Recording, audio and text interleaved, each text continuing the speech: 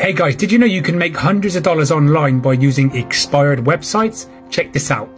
To start with, go across and check for YouTube videos that have lots of views like this one. Click on the website to see if it has expired. In this case, we can see this website has expired. Now go to Namecheap guys, post in the website name and see if you can actually buy the domain. Here you can see it's available for us to buy. After you've purchased the domain, go across to ClickBank and select an affiliate marketing program that's similar to the YouTube video. For example, this Spanish course right here. Just copy the link for the product that you're promoting.